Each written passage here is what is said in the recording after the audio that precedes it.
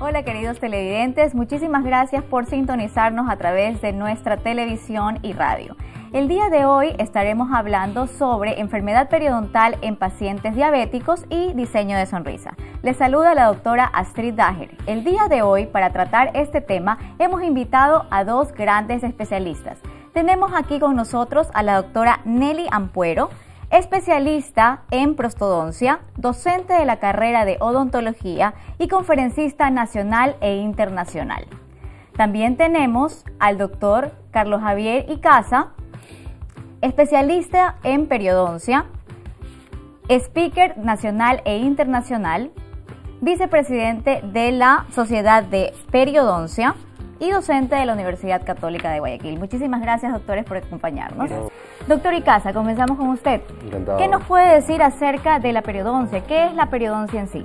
Mira, la periodoncia hay que resumirla, hay que ser, eh, hay que ser breve. eh, eh, básicamente es enfermedad en las encías, ¿sí? Eh, la, se puede dividir, a mí me gusta usar más el término enfermedades gingivo-periodontales, porque la periodoncia la podemos dividir en dos grandes grupos de enfermedades. Uno es la gingivitis, que es la enfermedad más común, que probablemente eh, muchos han escuchado, y la otra es la periodontitis, que es cuando esa gingivitis progresa y causa un daño mayor, afectando ya los tejidos de soporte del diente y obviamente eh, creando la movilidad e inclusive ya en casos eh, muy extremos la pérdida de la pieza dentaria. Dentro de los pacientes, ¿qué signos o síntomas podríamos ver para detectar una enfermedad periodontal? Mira, esa pregunta es, es, es buena y me la hacen, me la hacen a menudo. Eh, a ver, hay que, hay que tener clara una cosa, la enfermedad periodontal en sí eh, es asintomática.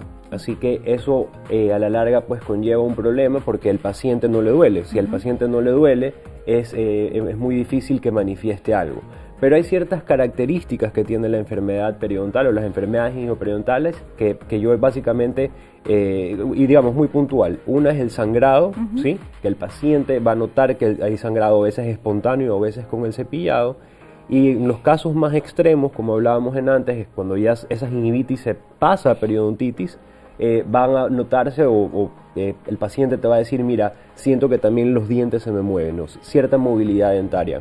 Esas son dos características que son muy típicas y que los pacientes pues las saben manifestar, ¿no? Perfecto, doctor. O sea que siempre tenemos que asociar el sangrado quizás con una presencia de inflamación o, o con una futura enfermedad periodontal. Eh, 100%. El sangrado es, es el signo eh, universal de inflamación. Doctora, muchísimas gracias por estar aquí. Gracias. por Vamos a conversar acerca de lo que es el diseño de sonrisa. ¿Qué nos puede decir acerca de eso? Bueno, hoy en día todo el mundo quiere tener la sonrisa bella y hoy en día todo el mundo quiere la sonrisa Hollywood. Entonces el diseño de sonrisa es eso, diseñar la sonrisa para que sea bella, para que sea linda, para que sea am- eh, amena, para que sea agradable al resto del mundo.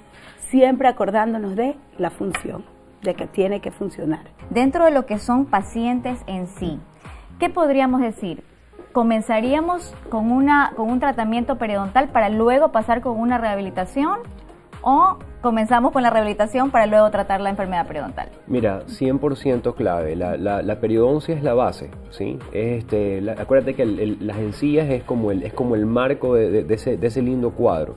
Así que eh, las encías tienen que estar sanas porque si se trabaja una rehabilitación oral sobre una encía enferma, el daño que puede producir, te diría yo que a, mediano plazo, ni siquiera a largo plazo, es serio. Y tú sabes que eh, todo lo que ya conlleve esa afectación en el periodonto, eh, producto de una mala rehabilitación y, justamente porque el paciente tuvo la enfermedad previamente, ¿sí? es irreversible. Así que eh, eh, 100% el- siempre tiene que el paciente primero pasar por las manos del periodoncista, ver que las encías estén sanas y en buenas condiciones para sí pues continuar con lo que es eh, la parte de rehabilitación oral y, y- y todos los tratamientos estéticos que dan muy buenos resultados. Entonces podríamos decir que siempre está quizás interrelacionado la periodoncia con la rehabilitación oral. Siempre, siempre, Perfecto. sí, somos hermanos. Dentro de lo que es diseño de sonrisa, ¿cuáles son los tipos de tratamientos que yo le puedo ofrecer al paciente? Bueno, como dijo Carlos Javier, eh, antes que nada realizar la periodoncia, siempre que esté limpio el lugar donde vamos a trabajar y donde vamos a hacer el trabajo definitivo, podemos ofrecer lo que son carillas, coronas, rehabilitaciones completas. Siempre que hablamos de odontología estética, simplemente hablando de estética, el tratamiento a ofrecerse hoy en día son las carillas. ¿sí? Ya que no se desgasta tanto, tanto diente, no necesitamos desgastar mucho tejido y eh, logramos una sonrisa armónica.